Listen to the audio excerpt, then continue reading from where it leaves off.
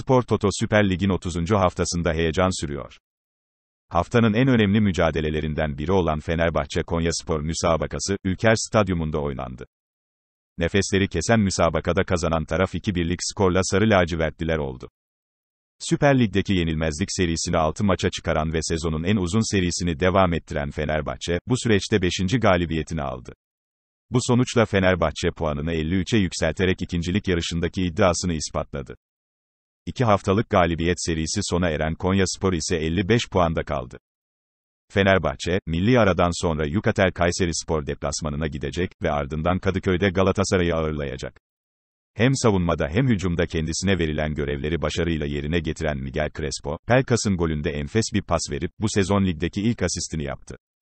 25 yaşındaki orta saha, aslında maça çok iyi ve hırslı başladık. Ancak Konya Spor öne geçti. Çok iyi çalışıyoruz ve meyvelerini alıyoruz. Savaştık ve kazandık, 3 puanı hak ettik ifadelerini kullandı. Süper Lig'de son olarak 5 Şubat'ta 1-0 kaybedilen Başakşehir maçında ilk 11'de yer alan Dimitrios Pelkas, sonrasında hep yedekten oyuna girdi. Pelkas, Konya Spor karşılaşmasına da kulübede başladı ve ikinci yarının başında Mesut Özil'in yerine sahaya sürüldü. Yunan Yıldız, takımına hareket getirdi ve 88'de Crespo'nun pasında ceza sahası içerisinde harika bir vuruşla takımına 2-1'lik galibiyeti getiren golü attı. Yıldız futbolcu, 4 golle Matthew Valbuena'dan sonra bir Süper Lig sezonunda oyuna sonradan girip en fazla gol atan isim olmayı başardı. Maçın ardından Pelkas, ilk yarı golü yedik ama ikinci yarıya çok istekli çıktık.